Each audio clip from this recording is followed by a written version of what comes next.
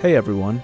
There have been many new pirates entering the Sea of Thieves in 2020, and even if you're a veteran pirate, or someone who hasn't played the game in a while, we're going over everything that you need to know while pirating on the high seas. If you've never played Sea of Thieves before, you will have to go through the Maiden Voyage, a tutorial that will show you how to access your equipment, repair and sail your ship, and even dig up some treasure. Once completed, you'll be free to sail with all other pirates in adventure mode.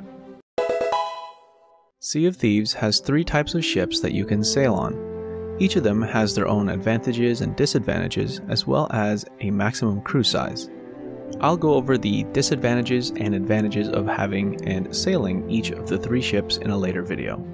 The first ship we have is the Sloop. This is the smallest of the three and has a maximum crew size of 2. But don't worry, sloops are also made to be handled easily by any of you solo players out there. Next we have the Brigantine, also known as the Brig for short. This ship has the maximum crew size of 3 pirates. However, an experienced duo can handle this ship just as well. And finally, we have the Galleon. This is a massive ship with 3 levels inside. It can hold a maximum crew of 4 pirates and requires the most teamwork to handle efficiently. Keep in mind that once you select your ship and embark on a voyage, you will not be able to switch ship types while playing without starting all over.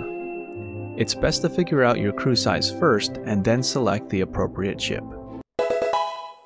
When you first load into the map, it is a good idea to stock up on supplies. This means going through as many barrels on your outpost and looking for wood, food, cannonballs, and even those disgusting worms, but only if you're into fishing. Your pirate can only hold so much of each item at one time, so if you've got crew members, then make sure they're pulling their weight. If you open up your pirate's inventory menu, you will see your various currencies on the top right of the screen. The first currency we're going to go over is gold. This is your basic currency in Sea of Thieves. It's what you will use to pay for all customization options in game minus microtransactions, and this is the money that you will earn from completing voyages and handing in treasures. Next up, we have doubloons. This currency is obtained by completing commendations. You can check these in your menus under reputation by selecting the various different factions.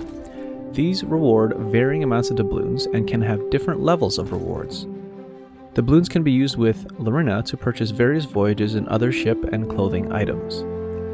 And finally, Ancient Coins. This is your microtransaction currency. It can be used in the Pirate Emporium to pay for pets, emotes, and other special ship customizations. There are seven outposts all over the Sea of Thieves. They all have different layouts, but the buildings are the same. First of all, we have the shipwright. Located on the dock, this is where you can purchase ship customization options. Next is the equipment shop. This is where you purchase different looks for your tools, such as your shovel, compass, or musical instruments. The general clothing shop is where you can purchase clothing and vanity items to change the way your pirate looks. The weaponsmith has all sorts of different looks for your weapons, including your cutlass. The tavern is where you initially spawn in. You can refill your ship's grog, chat with the mysterious stranger for the first tall tale, and purchase things from Larinna. And finally, the Pirate Emporium is where you spend your ancient coins to buy pets, emotes, and special ship sets. If you made it this far, thank you for watching my video.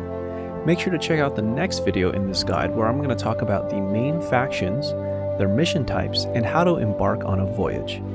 Don't forget to like and subscribe for more of this content. And don't forget to stop by my Twitch, links are all in the description. Say hi and enjoy some more Sea of Thieves content there.